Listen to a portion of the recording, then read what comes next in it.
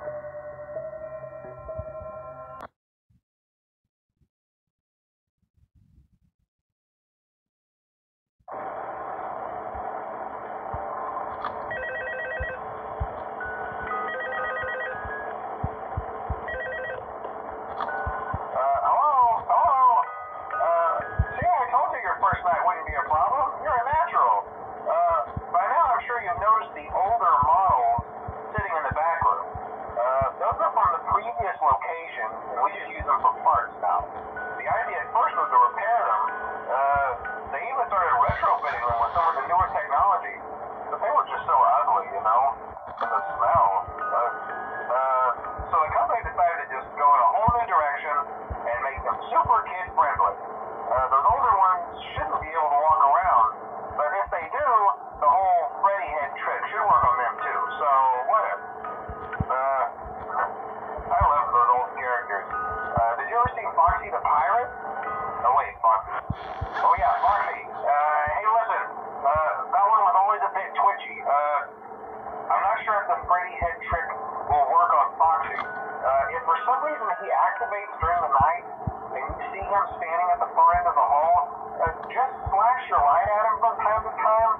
Those older models would always get disoriented with bright light.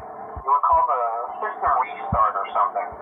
Uh, come to think of it, you might want to try that on any room where something undesirable might be. It might hold him in place for a few seconds. Uh, that glitch might carried over to the newer models too. Uh, one more thing. Don't forget the music box. I'll be honest, I never liked that puppet thing.